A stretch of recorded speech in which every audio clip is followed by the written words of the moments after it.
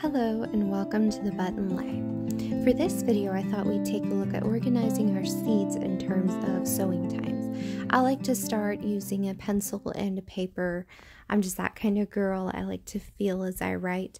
And we go through and I label with my seed names the weeks before frost because now I know that my last frost day is April 29th and I have 158 days of growing season. So I like to get everything organized. I also thought it would be fun to include a little bit more of the home life. You're going to hear my kids. Um, you're going to hear them talk to me and other things. I hope you enjoy this. And hopefully, this is a reminder that if you haven't developed an organizing system for your seeds for sowing, that you start now and you do anything that works for you.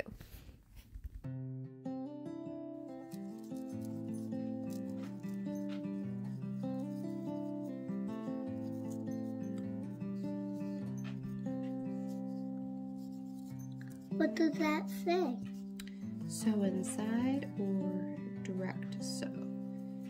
DS. So that's basically what we're going to do. So we take a packet like this. So these chives are perennial herb. They actually don't tell me when they need to be sown. And if they need to be sown outside or inside, so I'll just write them down and then we'll have to figure that out. So yep, we'll have to figure what that says out. That's right. So right here, we're just gonna write chives. That will be a little bit of a research. And then we can do this. We're going through our herbs here. Oh, my mommy, so, my morning glories are off. Yes, they are.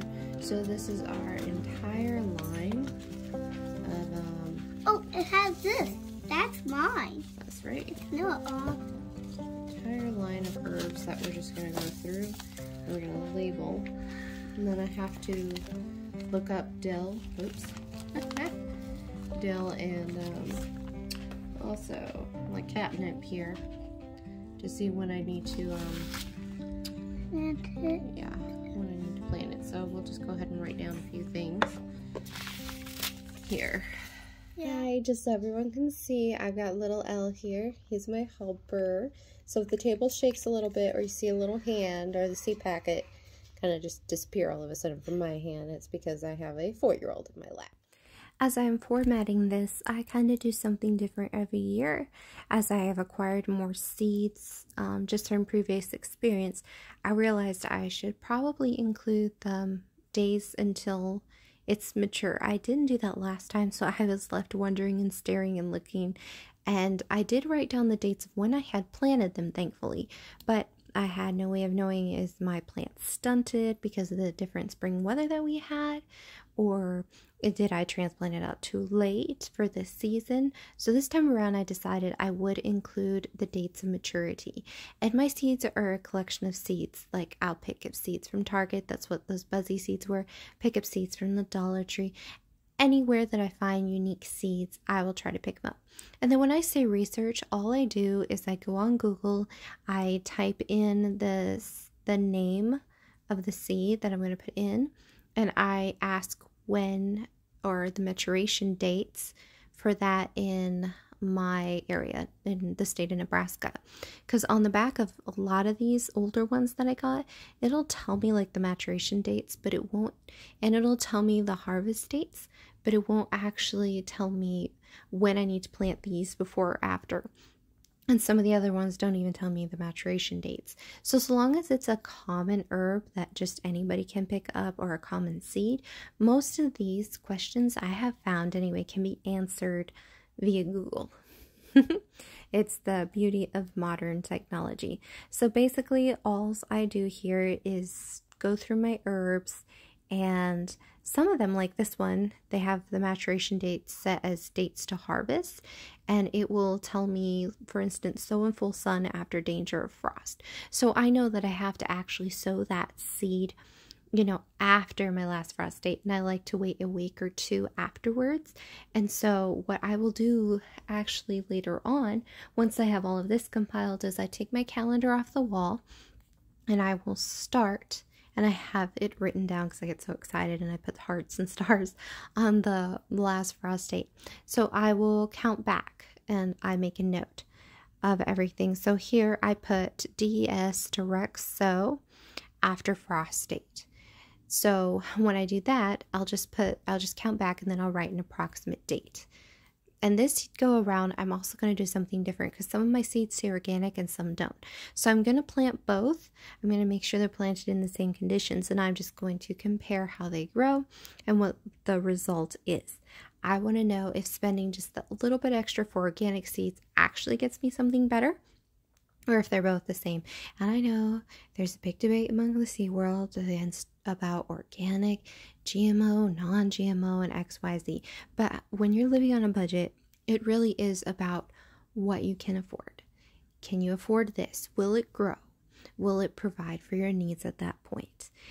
If it's yes to all of that, then do it because in the end, you are feeding your family. It is something that is fresh, homegrown, something that you could possibly can, dry, store, and put away, and that helps you in your overall budget because that's what we're about here in the budget life is doing everything small and trying to at least stay one step ahead of not having any money. Let's be honest, every penny is accounted for. But anyway, continuing on. So I'll grab my calendar and I will count forwards or backwards. I give myself those dates. Um, if it says I have like two to four weeks, I'll write down the dates between those two. If it's something that I know that I've grown before that will do really well in the weather, I will put a first sow and a second sow.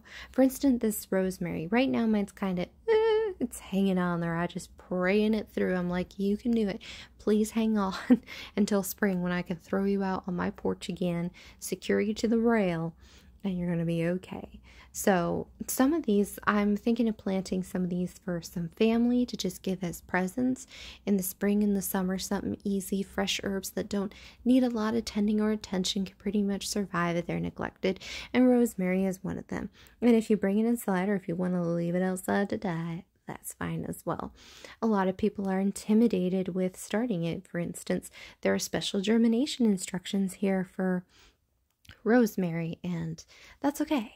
I'll do the fun part of germinating it, and you guys can do the hard part, keeping it going. But some of these seed packets are very helpful. This is one of my favorite kinds because it gives you a picture of what the seedlings should look like. Because I am so guilty. I did it this year.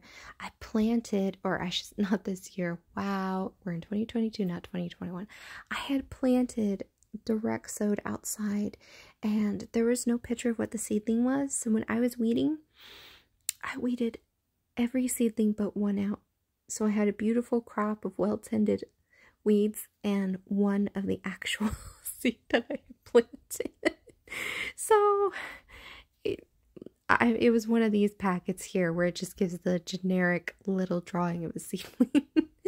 so um so when I have those packets with those special things, once I'm done using them, I'm still gonna I'm gonna cut that out and label it so as I have to replace the seeds or I dry my own seeds and store them, I'll be able to say, hey, this is the seedling, and all my hard work won't be for anything. So I'm not just tending a gorgeous crop of weeds for everything.